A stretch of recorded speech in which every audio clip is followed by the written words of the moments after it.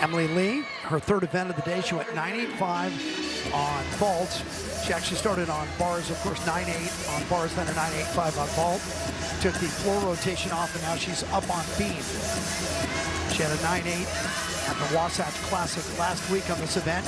She is considered a beamer. I don't know if this is Emily Lee's theme music. They usually get to choose a song. The DJ, I think he picked As did Emily Lee. That layout series is absolutely perfect. Yeah, might not be your first selection on beam. She's handling it like the pro she is. Three-time national team member.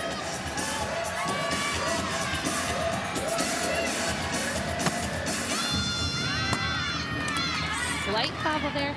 She's yet to really nail a routine.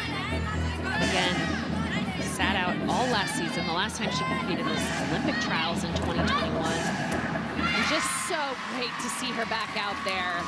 Wow. Really special for sophomore Emily Lee. Here's her layout series, or excuse me, her dismount. Perfect gainer full off the side.